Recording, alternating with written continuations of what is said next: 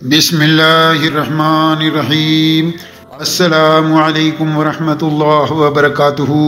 आप देख रहे हैं अपना पसंदीदा चैनल यूनी ट्रैवल और मैं हूँ हाफिज़ मोहम्मद तोहा। मुख्तलिफ़ सवालत के जवाब के हवाले से ये वीडियो पेश खिदमत है।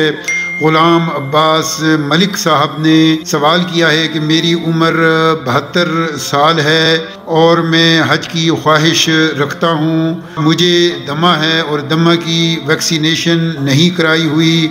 हज और उम्र पहले कर चुका हूँ, अब हज करना चाहता हूँ। क्या दमा की वजह से कोई परेशानी तो नहीं होगी? रहनुमाई फरमाएँ। मोहतरम भाई ग़ुलाम अब्बास साहब इन आप हज कर सकते हैं दमे के लिए नेबुलाइज़र वगैरह साथ रख सकते हैं, ताहम अपने फिजिशन से नेबुलाइजेशन, प्रेस्क्रिप्शन साथ रख लें एहतियाती तौर पर। मोहम्मद सफदर साहब ने सवाल किया है कि तस्वीर की तफसील बताएँ, साइज़ कितना, चेहरा कितना, मर्द और ख़वातीन के लिए इसी तरह बैकग्राउंड का कलर कौन सा होना चाहिए? तो भाई मोहम्मद सफदर साहब, आप मेरी पिछली वीडियोस को अगर देख लें, जिसमें मैंने डॉक्यूमेंट्स के हवाले से, हज के ज़रूरी कागजात के हवाले से वीडियो अपलोड की हैं तो आपको आपके सवाल का जवाब मिल जाएगा। ताहम मैं आपको फिर बता देता हूँ कि तस्वीर का जो साइज़ है, वो पासपोर्ट साइज़ तस्वीर है। और उसमें जो आपका चेहरा है वो सत्तर फ़ीसद वाज होना चाहिए। इसके अलावा मर्द और ख़वातीन के लिए ज़रूरी है कि वो अपना चेहरा सामने से ज़ाहिर रखें और मुँह पर ख़वातीन जो हैं वो एक रुमाल या चादर लपेट लें, लेकिन चेहरा उनका सामने से ज़ाहिर होना चाहिए और वाज तस्वीर होनी चाहिए। इसी तरह बैकग्राउंड जो है वो हल्का आसमानी यानी नीले कलर का होना चाहिए। बस ये चीज़ें आप तैयार रखें इन आप ज़रूर हज पर जा सकेंगे।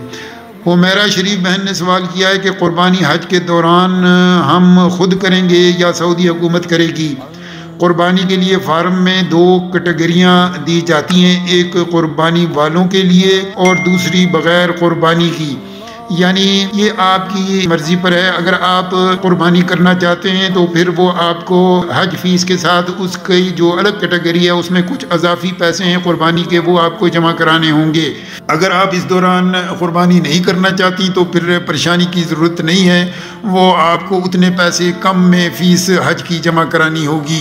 बहरहाल, बेहतर यही है, मैं राय यही दूँगा कि क़ुरबानी सरकारी तौर पर करवाना बेहतर है।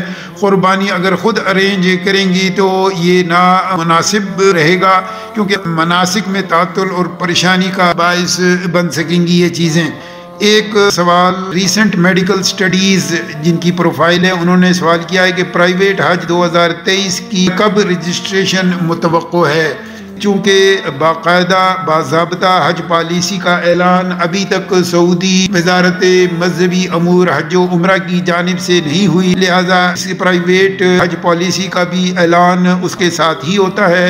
कुछ परसेंटेज प्राइवेट को दी जाती है और कुछ परसेंटेज सरकारी हज कोटे में शामिल की जाती है। तो इस तरीके से मुकम्मल जैसे ही ये नोटिफिकेशन आता है, आपको इतला पहुँचा दी जाएगी। आप सिर्फ़ हमारे चैनल से मुंसलिक रहें इन बर वक्त आपको इसकी खबर दी जाएगी।